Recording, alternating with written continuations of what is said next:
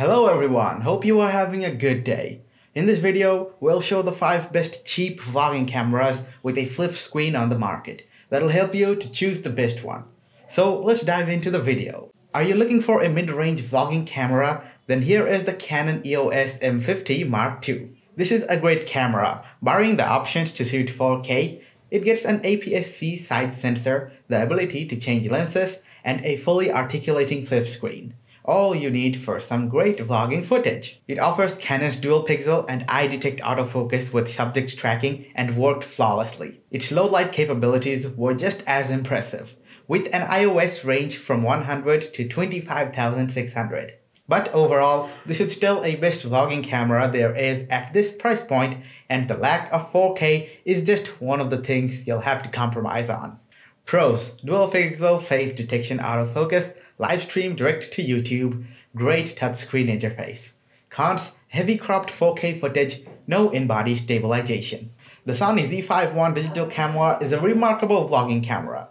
There is an Ultra HD camera that can shoot videos in up to 4K at 30 fps, giving you professional quality results. This pocket camera has been designed with ease of use in mind, and Sony has equipped it with some nifty features that make it perfect for vlogging. Apart from a built-in video stabilization feature, the ZV-1 also offers a background defocus button that allows you to seamlessly transition to a shallow depth of field by widening the aperture. In addition to the aforementioned feature, the camera comes with a fully articulating 3-inch touchscreen display.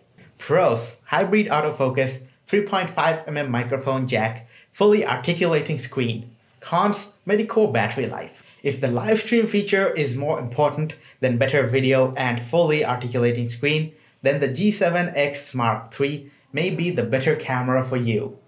This camera is equipped with a 20.1 megapixel 1-inch sensor and can record uncompressed 4K videos.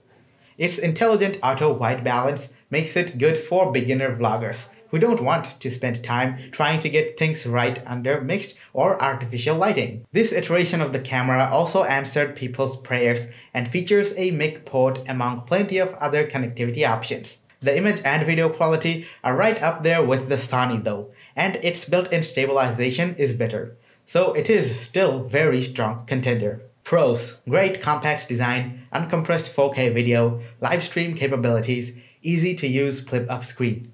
Cons, contrast-based autofocus. The Sony a6600 is Sony's top-of-the-line APS-C sensor mirrorless camera.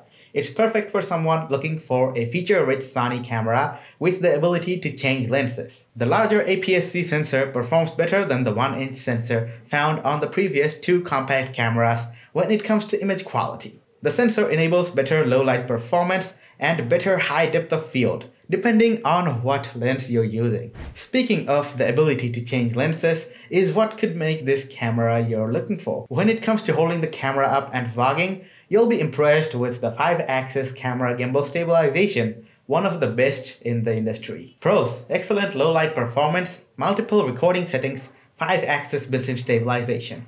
Cons, expensive. The Fujifilm X-S series is another popular mirrorless choice amongst vloggers.